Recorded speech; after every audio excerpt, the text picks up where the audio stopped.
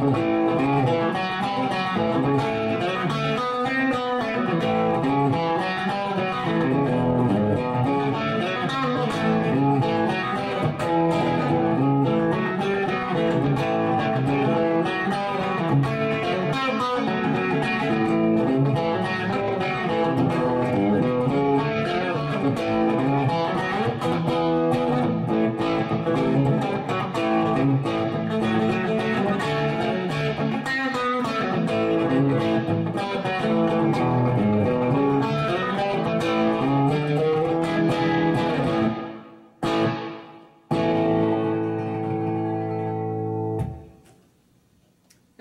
Max Rich with Totally Electric Guitars.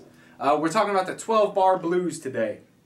Um, one of the first things that most uh, like electric guitar players these days learn, um, and the, with very good reason. Uh, the, the reason being is that it's really the formation for so much music. Um, it, everything from James Brown to Ray Charles to Jimi Hendrix to uh, Van Halen, I mean, everybody, Rolling Stones, Beatles, they all played from this blues formation. It's one of like the earliest forms of, um, you know, popular music in America.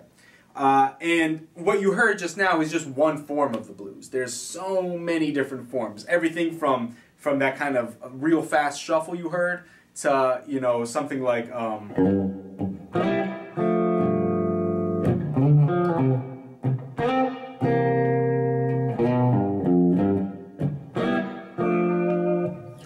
kind of a thing, you know, a slow blues, um, like a, maybe more of a jazz blues.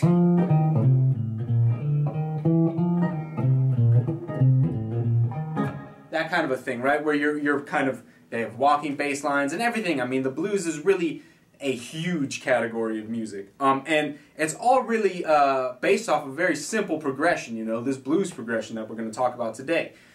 It is 12 bars, means um, there's four beats per bar, and there are 12 bars. So when you uh, hear, you know, you generally hear people count music like one, two, one, two, three, four. That one, two, three, four, that's like kind of the introduction. That's how long a bar is, you know. So if you're counting one, two, three, four, one, two, three, four, two, two, three, four, three, two, three, four, four, two, three, four, right there. That's your first four bars in in the 12 bar blues. You know, uh, eight more of those, you got one full time through the song or through the, the progression. Um, and what I'm going to teach you today is like a simplified version of that one that I was playing. So maybe not something so fast.